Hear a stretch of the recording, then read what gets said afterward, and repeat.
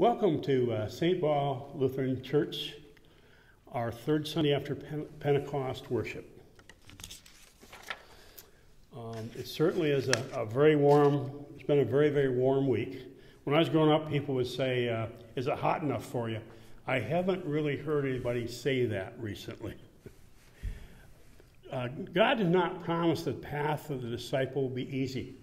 Jeremiah feels the pain of rejection from those who do not want to hear what he has to say. Jesus declares that his words may bring stark division. Even so, we need not be afraid, for God accounts for each hair on our heads. Though we may experience rejection, frustration, division, and death, God's grace and love make us a new creation each day. Marked with the cross and filled with holy food, we are sent from worship to witness to Christ in the world. In the name of the Father, the Son, and the Holy Spirit. Amen. God of all mercy and consolation, come to the help of your people, turning us from our sin to live for you alone. Give us the power of the Holy Spirit that we confess our sin, receive your forgiveness, and grow the fullness of Jesus Christ, our Savior and Lord. Let us confess our sins in the presence of God and of one another. Gracious God, have mercy on us. We confess that we have turned from you and have given ourselves into the power of sin. We are truly sorry and humbly repent. In your compassion, forgive us our sins, known and unknown, that we have done the things for the things that we have done and the things we have failed to do. Turn us again to you and uphold us by your Spirit so that we may live and serve you in newness of life through Jesus Christ, our Savior and Lord. Amen.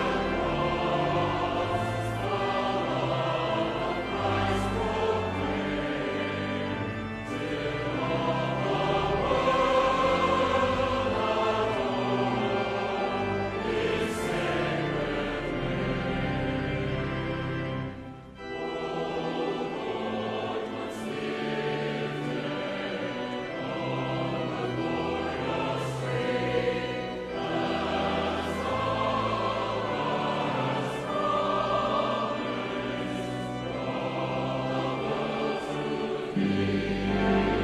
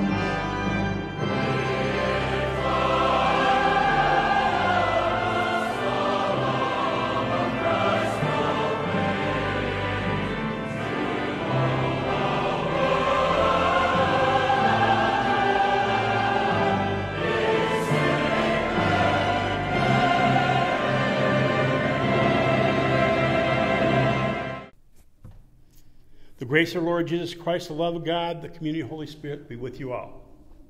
And also with you.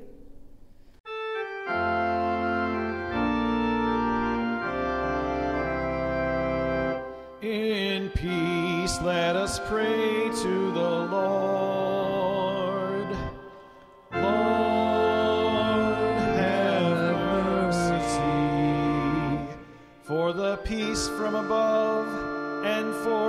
salvation, let us pray to the Lord. Lord,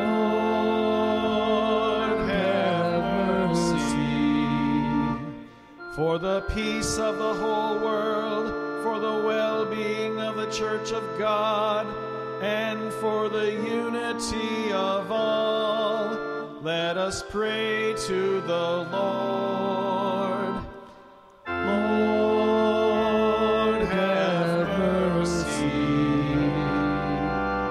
For this holy house, and for all who offer here their worship and praise, let us pray to the Lord. Lord, have mercy. Help, save, comfort, and defend us, gracious Lord.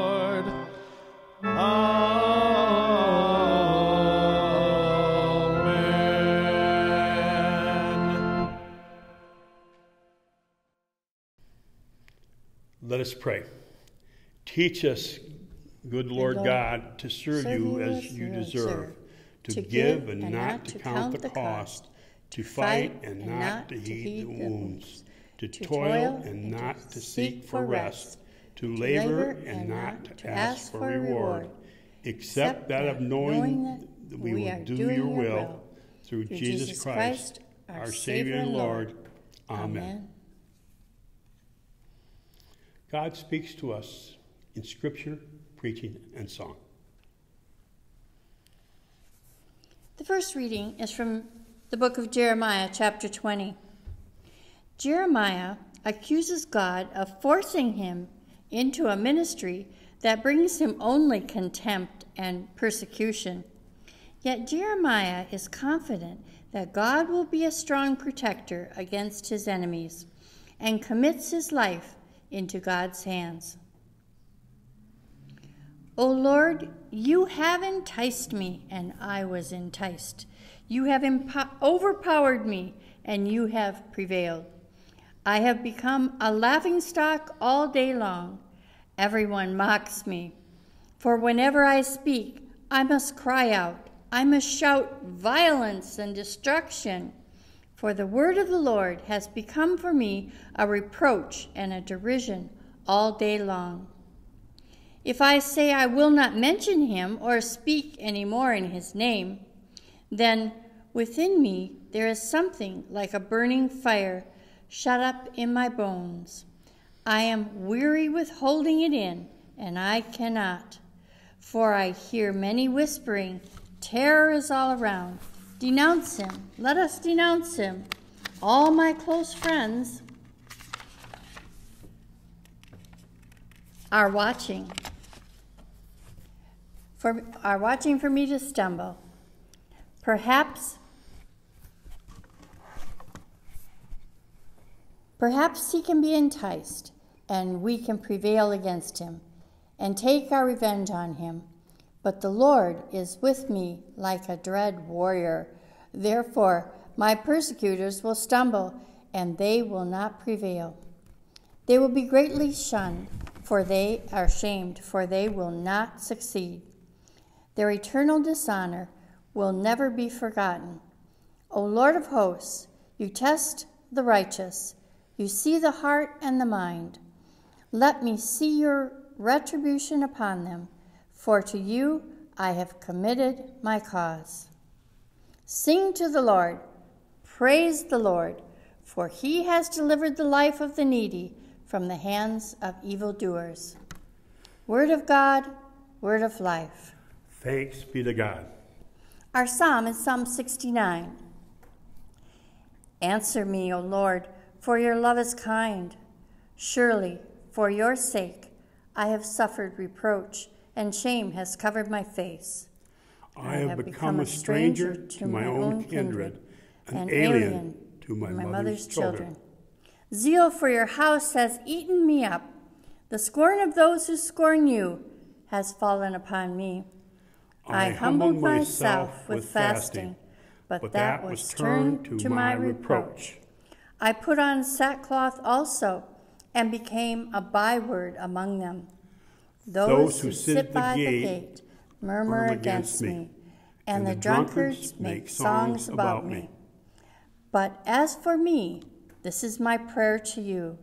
At the time you have set, O Lord, in your great mercy, O God, answer me with your unfailing help. Save me from the mire do not let me sink. Let me be rescued from those who hate me and out of the deep waters. Let not the torrent of waters wash over me, neither let the deep swallow me up. Do not let the pit shut its mouth upon me. Answer me, O Lord, for your love is kind. In your great compassion, turn to me. Hide not your face from your servant be swift and answer me, for I am in distress. Draw, Draw near, near, to me and, and redeem, redeem me, because, because of my enemies, deliver, deliver me. me. The second reading this morning is from Romans chapter 6. In baptism, we were incorporated into the reality of Christ's death and resurrection. We have been made new in Christ through his death and resurrection to live freed from sin. Who will harm you if you are eager to do what is good? But even if you do suffer for doing what is right, you are blessed. Do not fear what they fear, and do not be intimidated. But in your hearts, sanctify Christ as Lord. Always be ready to make a defense to anyone who demands from you an accounting for the hope that is in you yet do it with gentleness and reverence. Keep your conscience clear so that when you are maligned, those who abuse you for your good conduct in Christ may be put to shame. For it is better to suffer for doing good, if suffering should be God's will, than to suffer for doing evil. For Christ also suffered for sins once for all, the righteous for the unrighteous in order to bring you to God, he was put to death in the flesh, but made alive in the spirit, in which also he went and made a proclamation to the spirits in prison, who in former times did not obey. When God waited patiently in the days of Noah during the building of the ark, in which a few, that is, eight persons, were saved through water and baptism, which this prefigured, now saves you, not as a removal of dirt from the body, but as an appeal to God for a good conscience, through the resurrection of Jesus Christ, who has gone into heaven and is at the right hand of God, with angels, authorities, and powers made subject to him. Word of God, word of life. Thanks be to God.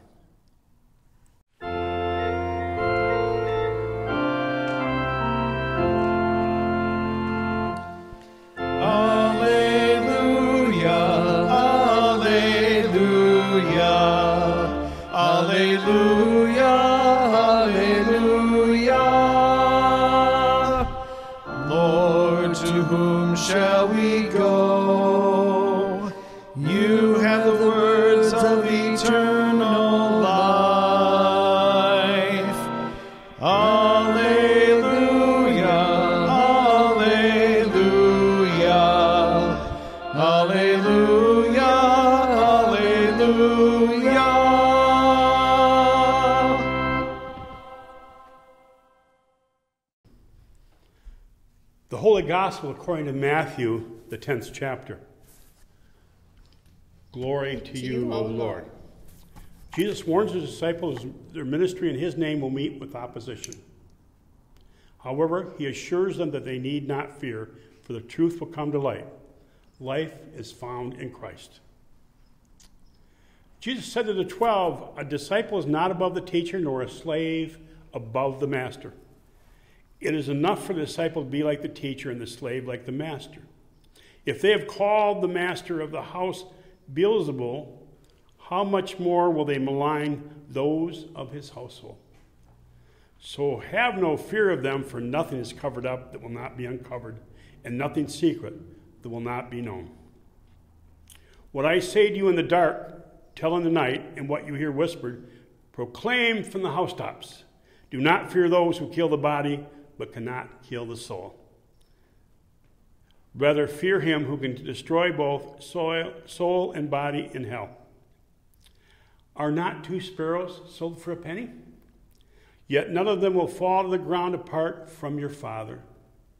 And yet, even the hairs of your head are all counted. So do not be afraid. You are more of more value than many sparrows. Everyone who acknowledges me before others, I also uh, will acknowledge before my Father in heaven. But whoever denies me before others, I will also deny before my Father in heaven. Do not think I have come to bring peace to the earth. I have not come to bring peace, but a sword. For I have come to set a man against his father, and a daughter against her mother, and the daughter in law against her mother in law. And one's foes will be members of one's own household. Whoever loves father or mother more than me is not worthy of me. And whoever loves son or daughter more than me is not worthy of me. And whoever does not take up the cross and follow me is not worthy of me. Those who find their life will lose it, and those who lose their life for my sake will find it. This is the gospel of the Lord. Praise to you, O Christ. We're at a point in history where we are focusing on racism for all that's going on. And we have now, we're looking at the, the demonstrations, we're looking at all of the all the things going on. And as disciples of Christ, it's important that we learn to practice anti racism. So I want to tell you about Clarence Jordan, a white man in Georgia. I know if I'm talking about racism, you might say, well, I talk about a black hero like Martin Luther King Jr., and because he followed his call to discipleship, as was discussed in today's gospel, but I am focusing on Clarence to demonstrate the kind of things we, as not a person of color, can do for the people of color. Clarence understood taking up the cross meant the disciples' allegiance and identity are in Jesus. That is, with the humiliation, suffering, shame, opposition, and death that Jesus continually speaks about. You see, Clarence Jordan lived in a community where, where blacks and poor sharecroppers were at a disadvantage to the landowners. The sharecropper may give, for example, 50% of what was the, what was they harvested, with the landowner setting the rules and giving them leverage and a financial advantage. When in college, Clarence clearly saw the injustice against the oppressed and was disturbed by the unfairness of all. So, to help the sharecroppers, he went to the University of Georgia, where he earned a degree in 1933 in agriculture and learned more efficient ways of farming, specifically to help others.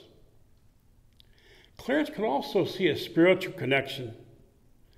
So he went ahead and went on and got a Master of Divinity at Southern Baptist Theological Seminary, where he also earned a PhD in New Testament.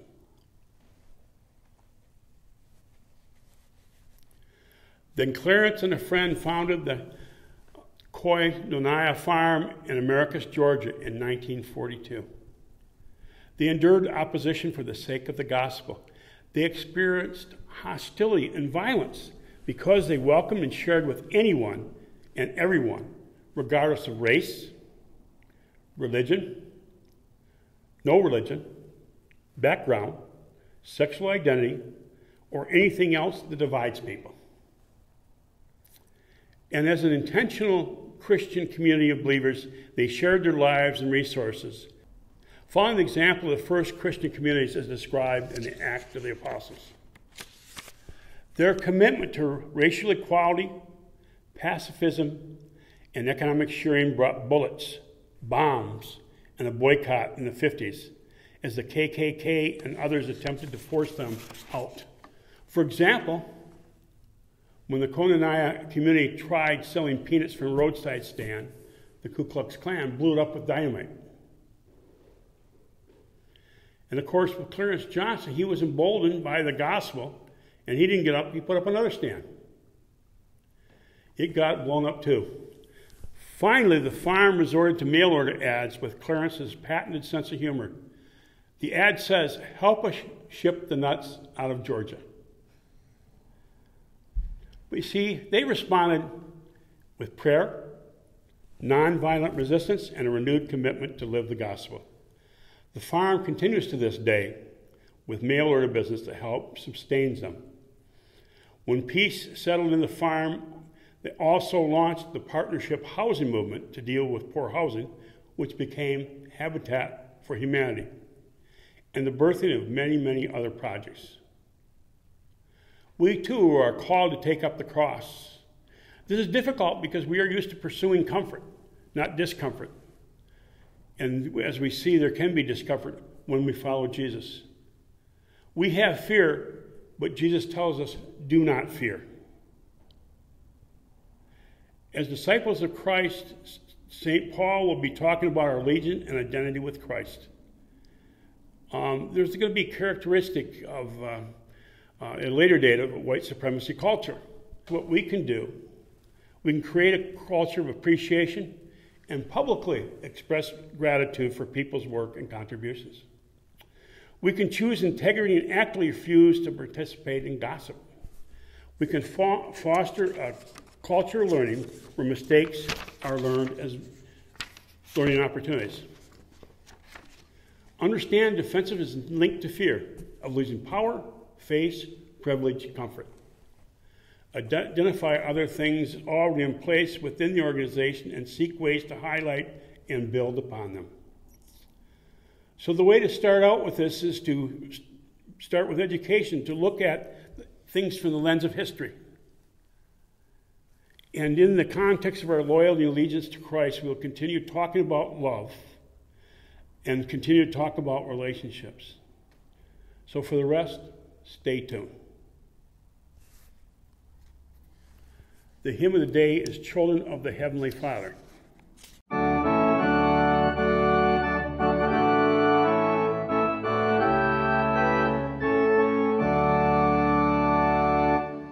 Children of the Heavenly Father, safely in His bosom gather, nestling bird nor star in heaven, such a refuge there was given. God His own doth tend and nourish in His holy courts they flourish. From all evil things He spares them. In His mighty arms He bears them.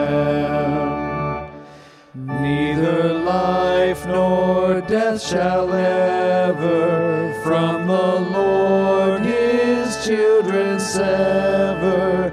Unto them His grace He showeth, and their sorrows all He knoweth. Though He giveth or He taketh, God His children never forsaketh. Is the loving purpose solely to preserve them pure and holy.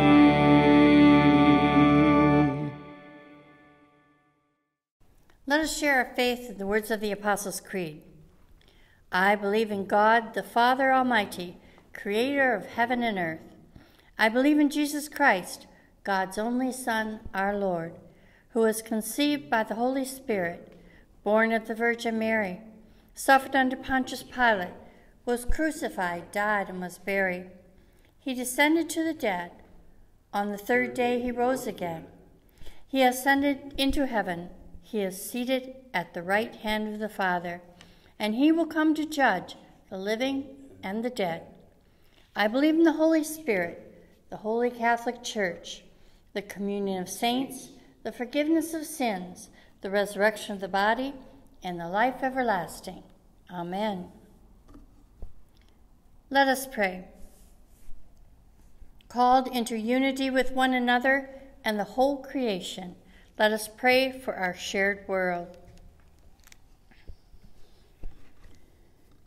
Expansive God, you bring diverse voices together to form your church.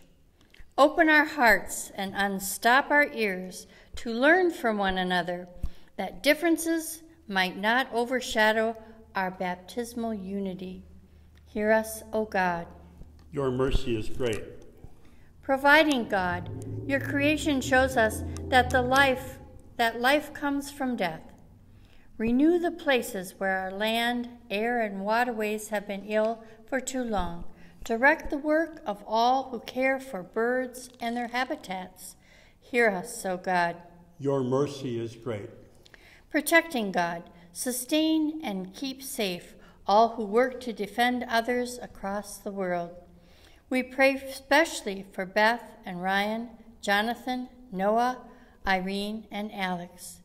Revive and strengthen organizations dedicated to caring for refugees and migrants while their homelands struggle for peace. Hear us, O God. Your mercy is great. Loving God, you promise to be with all who are persecuted for your sake. Guide all who speak your word of justice and console any who are tormented or targeted for being who they are. Hear us, O God. Your mercy is great. Healing God, heal those who are sick and in need of you this day. We pray for those who we silently lift before you now.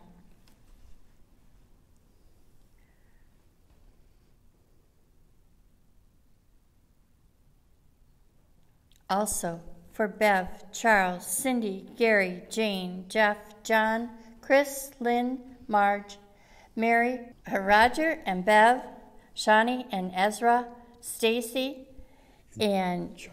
Char, and Cindy. Also, we wish to lift up recent graduates. This has been, a, for, for these people, it's been an unusual year because, because of social distancing. But we remembered their hard work and their accomplishments. Lauren Croyer, who graduated from DeWitt High School. Catherine Kitts from MSU. Tara McGrath who graduated from Ocean View. Hear us, O God. Your mercy is great. We raise up leaders for your church who will tend to your harvest. We especially lift up to you presiding Bishop Elizabeth, our Synod Bishop Craig, and Pastor Carl. We ask that you be with their rep- respective staffs as they live out their calling to serve as we are called to be one, even as Jesus and the Father are one. Be with the leaders and the congregation of Hope Lutheran Church in Rockford. Hear us, O God. Your mercy is great. Compassionate God, you are with us and we are never alone. Bless all fathers and father figures who strive to love and nurture as you do. Comfort all who long to be fathers and all for whom this day is difficult. Hear us, O God. Your mercy is great. Reigning God, you bless us with guides and caretakers in the faith. As we give thanks for those who have died, increase our care for one another until we walk with them in newness of life. Hear us, O God. Your mercy is great. Receive these prayers, O God, and those too deep for words, through Jesus Christ our Lord. Amen. The peace of Christ be with you always. And also with you. Let us pray. O God of justice and love, we give thanks to you that you illumine our way through life with the words of your Son. Give us the light we need. Awaken us to the needs of others. And at the end, bring all the world to your feast. Through Jesus Christ, our Savior and Lord, to whom with you and the Holy Spirit be honor and glory forever. Amen. Lord, remember us in your kingdom and teach us to pray. Our, Father, in heaven, hallowed be your name. Your kingdom come, your will be done on earth as in heaven. Give us today our daily bread. Forgive us our sins as we forgive those who sin against us. Save us from the time of trial and deliver us from evil. For the kingdom, the power, and the glory are yours, now and forever. Amen. The Lord bless you and keep you. The Lord face shine on you with grace and mercy. The Lord look upon you with favor and give you peace. Amen.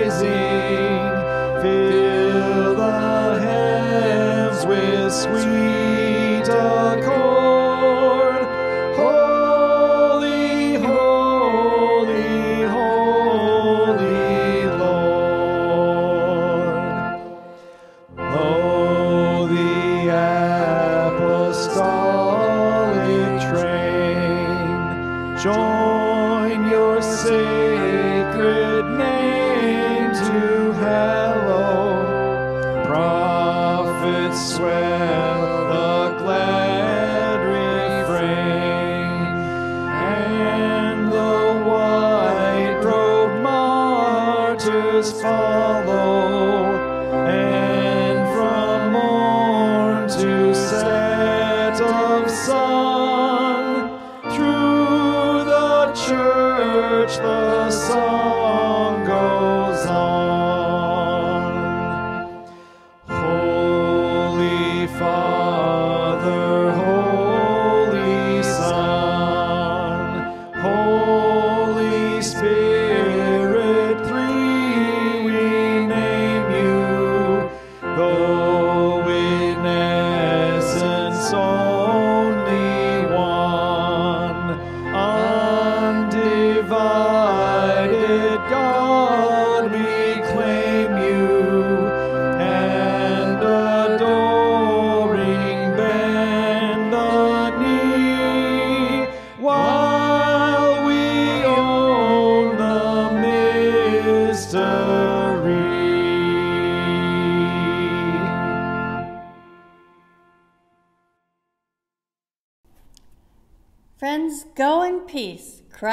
is with you. Thanks be to God.